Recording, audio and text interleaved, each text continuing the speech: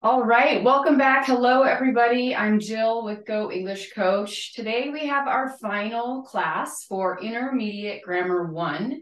We have gone through, um, this will be our eighth class. So each of our classes has um, eight, each of our courses has eight classes or eight lessons. Um, and we do that throughout the, there we go, sorry, this, yeah. Um, we run those classes through the month. So in June, we will be starting, actually June 1st, I believe, you have to check the calendar. Uh, June 1st, we'll be starting intermediate grammar two. So the best part about live classes, you guys, is that if you aren't able to attend the live class, which many people are not, um, then you can always watch the class in the replays, which is where all of you are probably doing that right now. So I'm very glad you're here. Um, thank you for being here. Thank you for being here for you. Um, you know, being committed to learning something new and starting a new journey with English, uh, you know, recognizing that you want to change something, you want to improve something is is actually a really big step. So please congratulate yourself on taking a first step. It's not always easy. A, it's not easy to admit when you aren't as good as you'd like to be at something. And then two, you know, finding a program that works for you and your schedule and your style and your interests um, is also very difficult. So I'm glad you're all here and let's get started for today. So we have been studying the past tense, simple past tense um, in our intermediate grammar course. In our advanced grammar course, we started looking at simple past and comparing it to the past progressive. So, for example, I walked to work this morning is simple past, and I was walking to work this morning. Okay, so let's just write those out so we all have a nice little kind of framework for what we're talking about here. I walked. So I walked to work every day. That's like our present tense sentence, okay? I walked to work yesterday. Okay, so notice that we had to change part of this sentence to make this work, to make it grammatically correct, because we've got walked, that's in the past tense. So we have to change it. We can't say I walked to work every day. Well, you can, but then you're talking, it's a whole different sentence. Um, I, okay, I was walking to work. Now, usually when you have this past progressive, you have another um, piece of information connected to it. So you can say, I was walking to work when something happened, or I was um, if it's something, so this this one, remember, so if we make our little graph of now, and this is the past, right? And this is the future. Um, we've got a past, a simple past, right? This one is simple past. It happened one time. Simple past happens just one time and then it's done. It's not happening anymore in most cases, right? And then this um, present, so we've got simple past here, and then we've got present progressive. So present progressive is, is used when we discuss something that started in the past and that ended in the past, but it happened for a period of time. And it doesn't matter how much time. You can say, I was walking for three minutes yesterday when I found $50 on the ground. Okay, I was walking when I found $50 on the ground. Or you can flip those two. Let's just write that sentence out. We can kind of start to look at some examples here. I was walking when I found $50. Okay. I was walking when I found $50. So we've got this part here, which is past progressive, and then I found is simple past. So something was happening. I was walking, right? So let's do that one again. I was walking. Was like this. And I found. This is found. So it happened one time while I was walking. Now, you can also switch the order of these. So you can say, I found $50 while I was walking. Okay.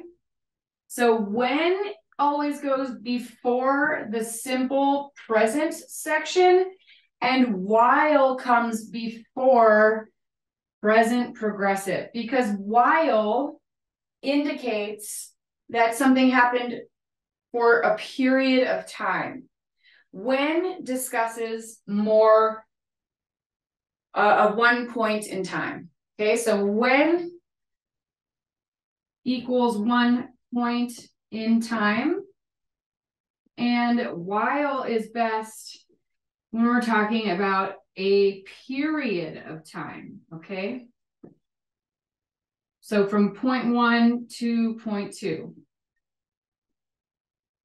Okay. Um, we'll dive a little bit deeper into that in just a minute. Um, what I'd like to do is I'd like to just do our unit two review for now. So we're going to hop over to the computer here. And this was, um, this unit two review was something I gave you in our last class. And I wanted you to do it on your own. So if you have not done that, um, I do think it's really important to um, to work on your own. I do think it's really important for you to take the initiative to um, complete these assignments on your own. So let's just, I'll give this to you again. So if you haven't done it, please just stop the video, go back and then just take a piece of paper and write your answers on that paper. Okay. So let's do that. Come on over here. So I'd love to get through this today since this is the last in our class and I really want to get the present progressive started for you guys today so we can move into the second class and have everything kind of line up for us. So here is the review. If I can get the whole thing here. Oh, okay. Let's just do it section by section. So if you have not done this, pause it right now and do this first section. So the answers you're looking for are given to you A, B, or C. So you're choosing either the present, the past, or the past participle, okay? All right. So um, let's go ahead and do this. Last night, I blank a poem for my English class. So we know for sure that it's in the past tense because it says last night, right? That's our big clue. All right, so which one in that list, A, B, or C, is a past tense form of the verb to write? Okay, so write, wrote, written. It's this one. Last night I wrote a poem for my English class. It's blank about my childhood. It, okay, it was about my childhood. At first, I didn't blank what to write. So we know this is past tense here because didn't is the past tense. So when we have the past tense with the do auxiliary, we just need this one. I didn't know what to write about. Okay, we never really use knowing. And this is, if we have didn't, we don't use this, okay? Because in the past tense, when we say the negative, we just use did, didn't, or doesn't, didn't, no, didn't, because that's past tense. And then we use the regular base form of the verb that isn't conjugated into the past tense, okay? Okay, my roommate blank, a good su suggestion. My roommate makes a good suggestion. Did make or made. My roommate made a good suggestion. Okay, um, did you blank a poem for your class? Did you write? Okay. I really enjoy the experience, enjoys the experience. I really enjoyed. Okay. Perfect. All right, let's do part B here. Um, so if you want to take a minute and do this on your own, please do. All right. I excuse me.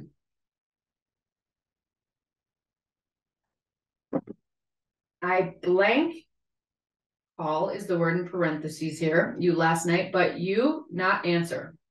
Okay.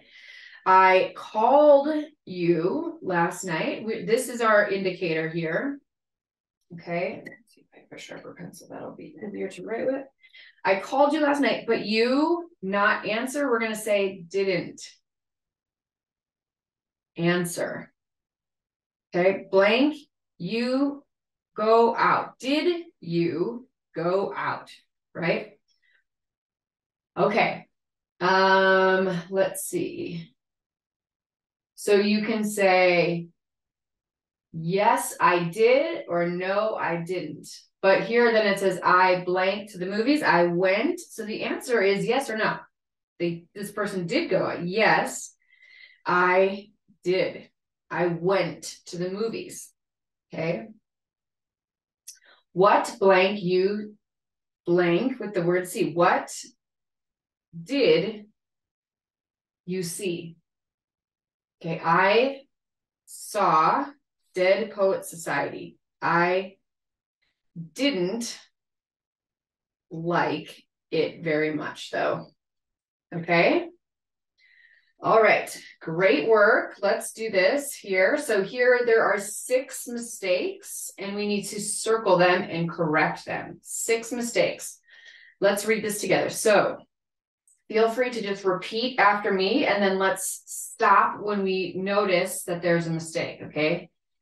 So the poet Elizabeth Alexander was born in New York City, but she didn't grew up there. So if we have didn't, we don't need this to be in the past tense. We don't need past tense and past tense. So we're going to circle this and we're going to change it to grow. Her father taked a job with the government Taked is not how we say the past tense. We say it, it's irregular. So we say took. Um, her father took a job with the government and her family moved to Washington, D.C. All of that seems correct. Okay, so we've got two of them right now. As a child, she have a loving family. So as a child, we're talking about something in the past. She had a loving family. So now we've got three.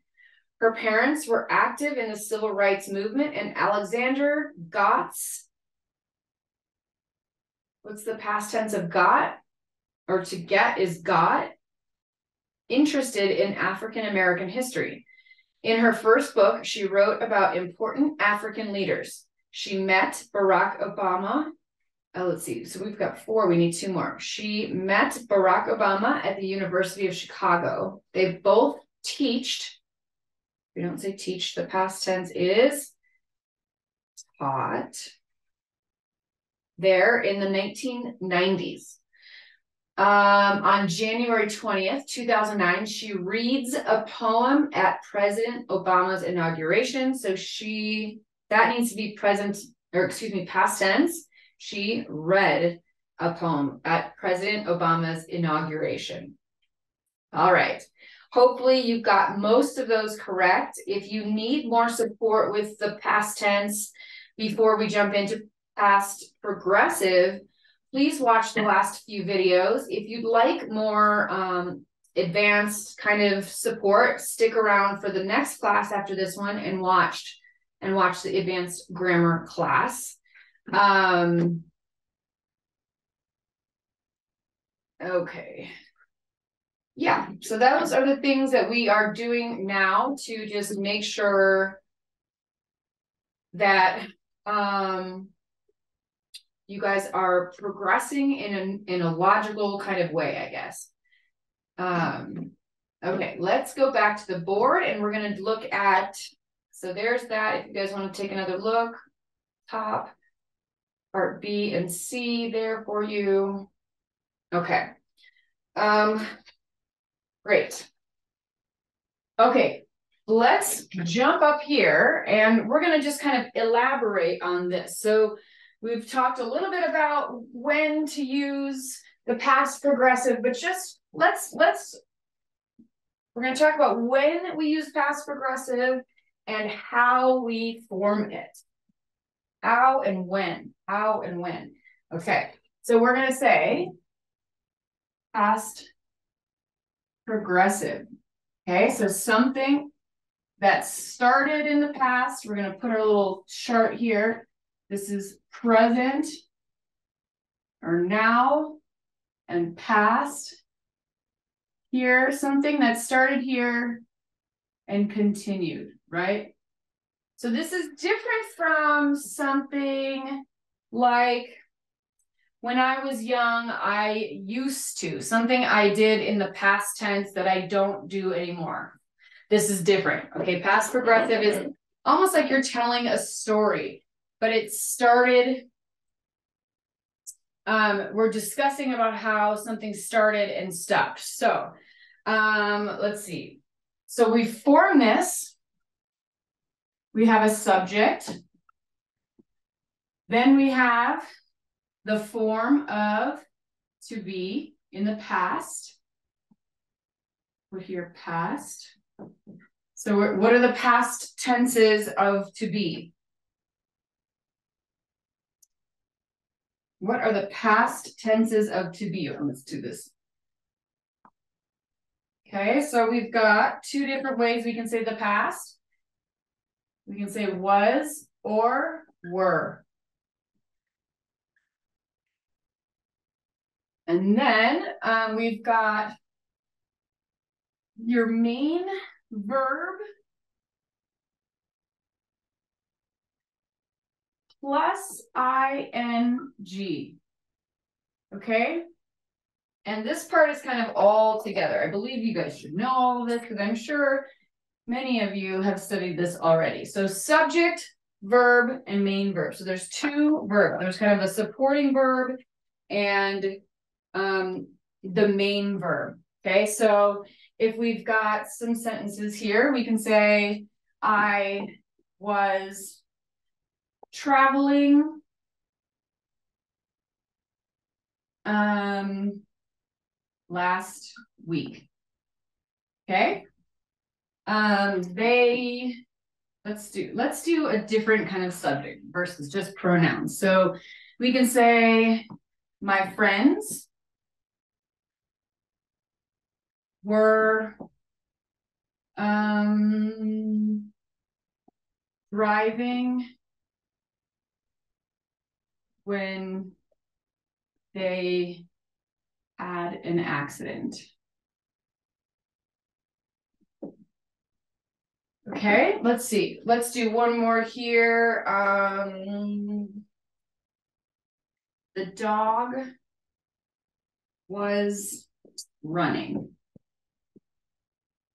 And there we go. Okay, so we've got a couple different sentences. So let's just kind of plug it in here. We've got these are the subjects, right? Subject, subject, subject. We've got the form of to be. Let's put that in the same color so we all are completely understanding what's going on here.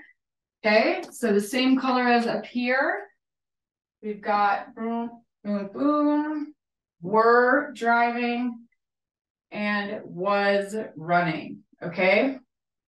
Oh, sorry, we've got too much going on here. So we've got in the blue, we've got the was were. Okay, let's just clean this up so everybody can see what we're doing here. I like color coding things. Just makes things easier to understand. Blue is the was or were. Okay. I'll get out of your way here in just a second so everybody can see what's going on. Was. Okay, and then we've got this other part here that will just indicate just like that. Okay. Okay, so what are some of the things we notice here? What are some things that we notice? Okay, so some of the things that I notice here um, are some of the things that we discussed when we looked at present progressive, okay? And some of that is, uh, let's see, some of the rules that go with how we make the ing form. So remember this, you guys? To make the ing form, this is a continuous continuous, or we also call it progressive. So some teachers might call this present or past continuous or past progressive. Those are the same thing, okay? So when we make the ing form, we simply take the verb travel and we add ing, right? Simple. So travel to traveling. However, in some cases, if you notice here and here, we've got some exceptions. So what are some of the exceptions? One exception is, let's call it an exception. So an exception is something that does not follow the rules, right? Um, so uh, one exception to this rule is that you have the verb plus ing. That's the rule, okay? Boom. One exception is when you have a CVC. So the verb here is run, consonant, vowel, consonant. When you have this structure of a, of a word, we double that final syllable, okay? So um, the exception is when you have CVC, consonant, vowel, consonant, we will double the final consonant. Okay, so run, for example, here's our example. Run goes to running. Okay, that's just one example. And there are there are some exceptions to this exception, to be honest. But let's not get into that because then we'll just drive ourselves crazy. Um, the other exception, so this is one of them. The other exception to this rule where we simply add ing to the verb is that when we have a word that ends with, so the verb here is drive, right? Drive, D R I V E. Um, when we have one that has the silent E, we just drop the E and we add ing. Okay, so let me get down here. Um, when the verb ends in silent E, we drop it and add ing. Okay, you can still see that. Okay, good. I just had to get down on the floor. Okay, so those are just two of the things I noticed from these sentences here. Okay, anything else that comes up for us here for you guys? Okay, perfect. So, okay, so we've got just these three sample sentences. Let's go through a couple of more things. Let's go on here. Um, so let's talk about how we make past progressive sentences that are negative. Okay, so we now we know how to do the positive. I was traveling last week. Okay, let's go back to that. I was traveling last, oops, last week. Okay, to make this net negative, it's very simple. The, the verbs don't change at all. There's no, um, there's no do auxiliary. It's nothing confusing. It's easy. So we're just simply going to add not here. Okay, I was not traveling last week. Okay. So let's just make this different color so it kind of stands out. Okay, I was not traveling last week. I also, we can do what here? What can we do here, you guys? Yes, we can use a contraction. And most people use contractions here. I wasn't, wasn't. I wasn't traveling last week. So um, so the pronunciation of wasn't, we have to always practice these contractions. I wasn't traveling last week. Okay. So the pronunciation, if you guys have not been coming to my pronunciation fluency class, you really should. Um, and the reason is, is that so many people really get stuck on pronunciation because they've been studying for such a long time, but then they're like, ah, I can't use it. Um, and I've told you guys tons of stories uh, about students that I've had, or I mean, even in my own experience studying Spanish, it's like the pronunciation part of it has always just been like, oh, did I say that right? It makes me feel so embarrassed. So really practicing that. And so that's why I kind of like to infuse it into these lessons and also isolate it in another separate class because it's worth it. Okay. So the pronunciation, we always do like this with the lines. So we've got what. That is your pronunciation. You got the z sound here. Wasn't, wasn't, wasn't. Okay. So practice that. Um, let's look at how we form a question. Okay, so question. How do we form a question using the past progressive? We're going to simply take, we're going to switch these two. Okay, so I was traveling. I'm going to just answer like somebody's asking the question. Oops. Were you traveling last week. Okay, so you're going to use was or were. This is the formula. You know I like formulas. Was or were plus the subject plus the main, let's just call that MV. MV is the main verb. So in this case, what is our main verb? Travel. Okay, the main verb travel plus ing. And then this kind of, if you're like a math person, this is kind of right up your alley. I, I'm I'm a person that thinks in formulas. I don't know why. Um, okay, so does that all make sense to everybody? I was traveling last week, last week. I was not traveling. I wasn't traveling last week.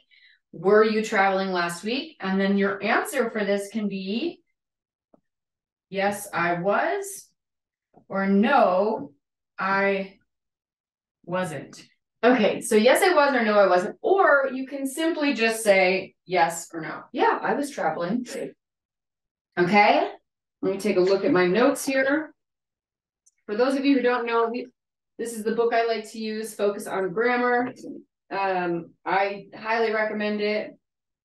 And um, yeah, I, I think it's a great it's a great book. I like how they lay things out. It's it's it builds on each other nicely. So I, I don't get paid from that company, so I'm not promoting a book that I have financial interest in. So um great. Okay, what so now what I'd like to do is um let's sit here at the desk and I'd like to go through a couple of different exercises. So we'll look at when we use those two, right? So often what happens is when we're talking about I was traveling last week and then something happened, okay? Traveling. So it happened from here to here and I, let's see, I got sick.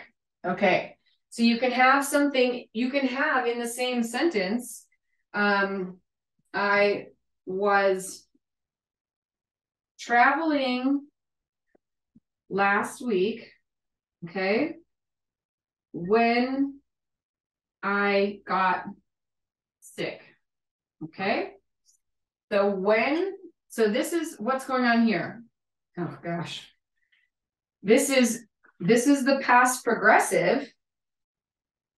This is past progressive. And we have in the same sentence, we've got simple past. Okay, so something was happening here from here to here. And in the middle, right, I got sick. Okay. And this is a completely fine sentence. We can also move that. So we've talked in this class about how English is often not very flexible when it comes to the order of our sentences. In this case, we can be flexible. So you can have, so if this is a We've got kind of two clauses, we can say. So this is clause one. A clause is like a part of a sentence that is not complete. And this is clause two. Okay, clause two. You can switch those clauses. So you can also say, I got sick while I was traveling last week. What did you hear differently when I said that? I got sick while I was traveling last week. I changed when to while. Okay. So while, and I just said this a little bit earlier. So if you missed it, go back. So while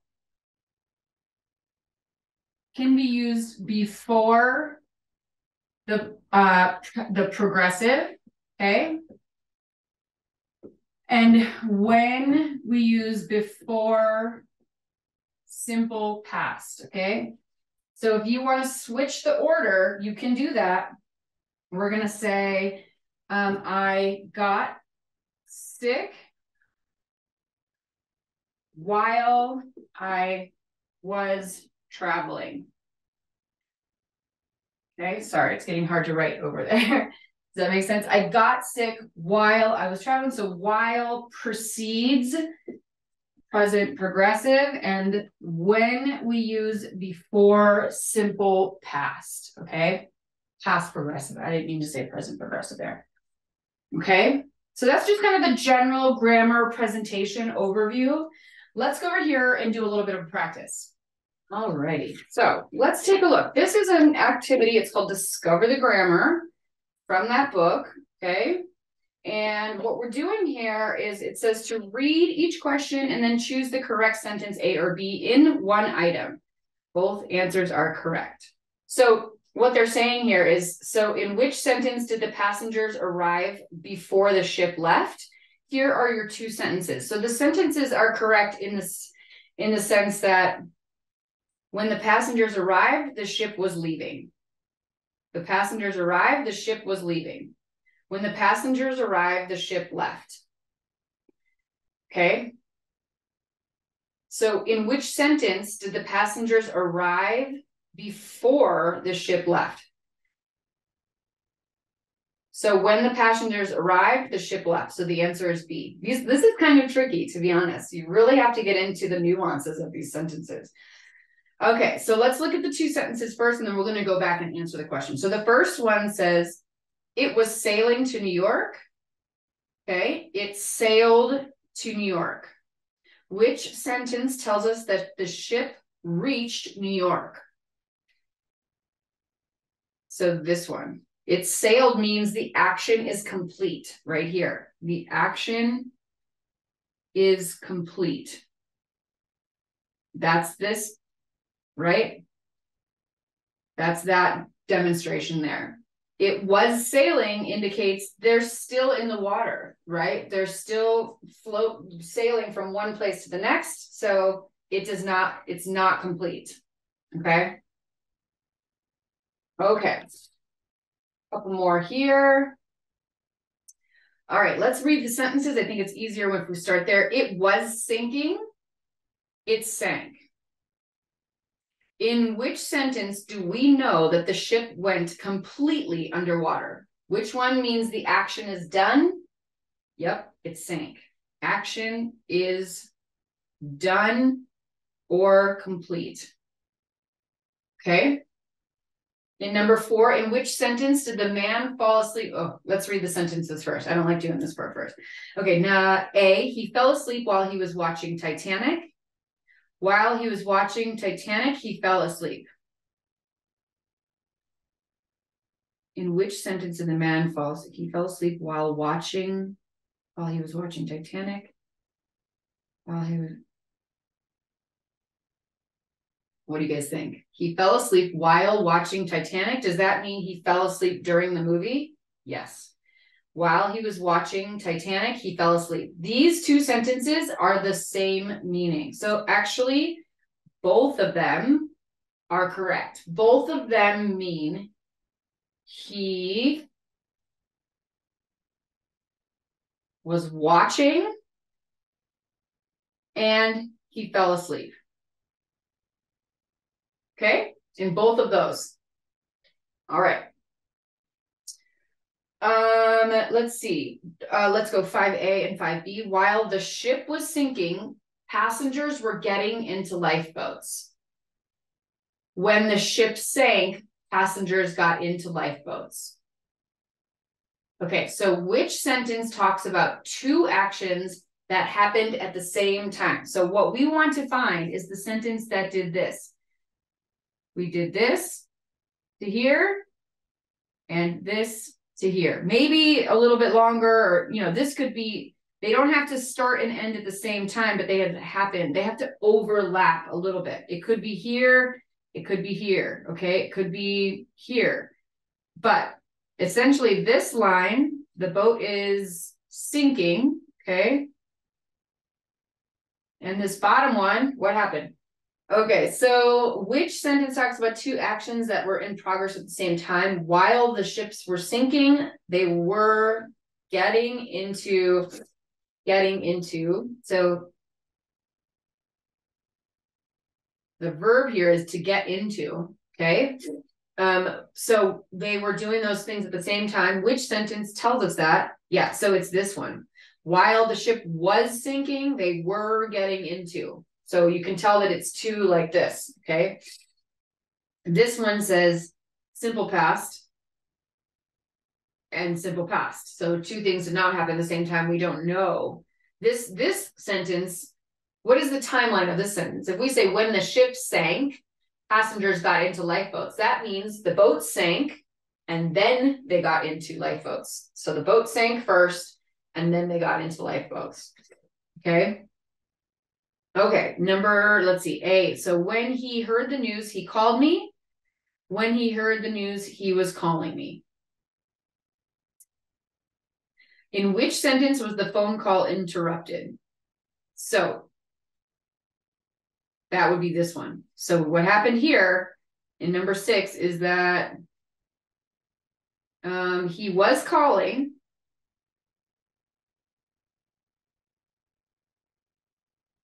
And he heard the news. So this calling got interrupted. So that's B, okay? All right, let's look at A and B in number seven. When he called her, she left the house. When he called her, she was leaving the house. In which sentence did the woman leave after the phone call? So in this one, we've got he called her and then she left. Okay. One happened first and then the next happen. Um, so that would be A. Okay. Awesome. Good work, you guys. I am going to give this to you for homework here. So what you're going to do, you've got an itinerary here um, or a schedule. So it says 10 o'clock a.m. breakfast, exercise, swimming, lunch, lecture, coffee, haircut, dinner, card game. Douglas is sailing to Europe on the SS Atlantic. Look at his schedule for yesterday. Complete the sentences. Use the past progressive form of the verbs in parentheses. Choose between affirmative and negative.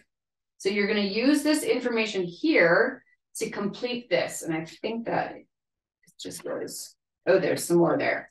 Okay.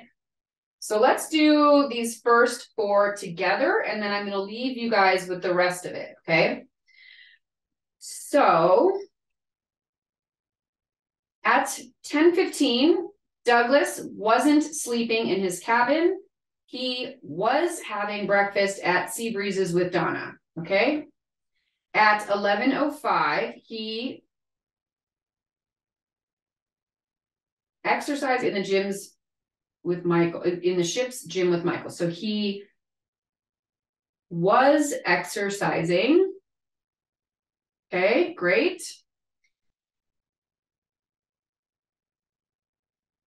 He wasn't swimming. Okay, swimming. So swimming is going to have a double M like we discussed, it's got that CVC. It's a one syllable word, swim, run, get. Okay, those are all one syllable words. And when you have a one syllable word with the CVC, okay, it goes, we double, it goes to CVCC and then ING, right? That's a plus. Okay, so swim goes to swimming. Okay, At 110, he blank drink coffee at Cafe Rose. Nope, coffee's at four. He wasn't drinking coffee at Cafe Rose. He was, so each one is going to have a positive and a negative. He was eating lunch at Oceana with Raul. Okay. All right. Um, at 240, he, let's see, 240. So that's, he's in that lecture. He wasn't looking for a book in the ship's library. He was listening to a lecture on Italian art. Okay. All right, good work on that. So what I'm going to give you guys is the rest of it. Let me just make this easy for you to do. Okay, let's see. There's the rest of it. So you've got the schedule there. Your schedule is here, and you've got these five, six, five, six, and seven to complete on your own. All right, you guys can do it. I know it. Okay, everybody. Um, if you'd like, go ahead and stick around. We'll be starting the advanced pronunciation, excuse me, advanced grammar class here very shortly. And then tomorrow in Friday's class, I will be doing a quick pronunciation lesson in the morning, and that will be our lesson seven for pronunciation and fluency one. Okay. Have a wonderful day, you guys, and I will see you very soon.